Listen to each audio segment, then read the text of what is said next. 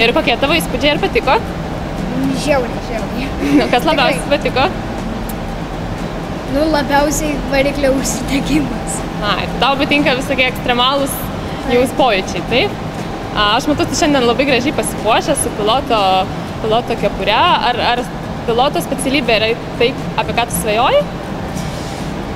Nu, ne visai. Ne visai, o apie ką tu svajoji? Kosmonaut. Kosmonautų. Nu, tai Bet panašiai. be abejonės. Tai labai linkime tau sėkmės.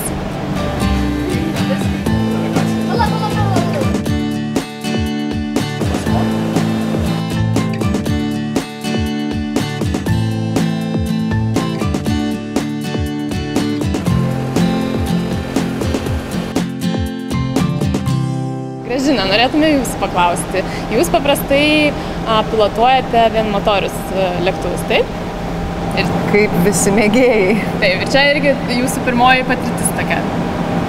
Na, iš tikrųjų taip. Mes nepraleidžiam progų ir aviacijos muziejui ten šiek tiek palaužėm simulatorius su visokiais aukštais svečiais. Tiesa, man neteko skraidinti simulatoriuje prezidento Adamkaus kaip dariui teko, bet na, aš pasitenkinau ir solo skrydžiu.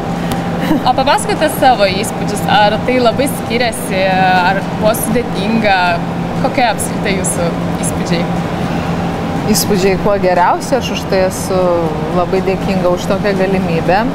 Ir e, be abejonės, na, kai žinai nors kiek, kas yra, kad ir nediduko orlaivio valdymas, tai juolap pastebi savo visiškai neišmanimą persėdus štai prie tokios technikos, bet pajusti visą tą galę ir, ir vėlgi valdymo visiškai kitokius, um, kitokius, reiškia, ir poreikius, ir galimybės, tai buvo kažkas tikrai nuostabaus.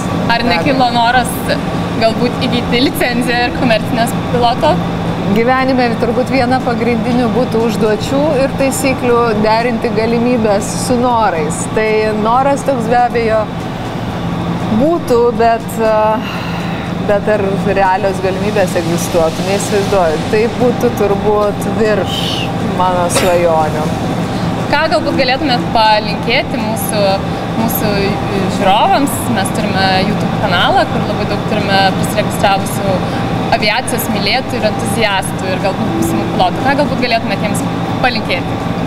Pirmiausia, kaip ir visiems aviatoriams visame pasaulyje, tiek pat nutupimų, kiek ir pakilimų. Toliaugi kuo geriausios kloties ir a, tų galimybių, kurios dėrėtų su norais, nes a, noras subrandinti yra labai gerai, tai turbūt kiekvieno kelio pradžia, bet po togi iš tikrųjų geros kloties, kad tiesiog aplinkybės sėkmingai klostytųsi ir leistų siekti tų savo gražių ir aukštų svajonių. Taigi kilti aukštyn ir leisti saugiai. Aišku. Ačiū labai Jums. Ačiū Jums.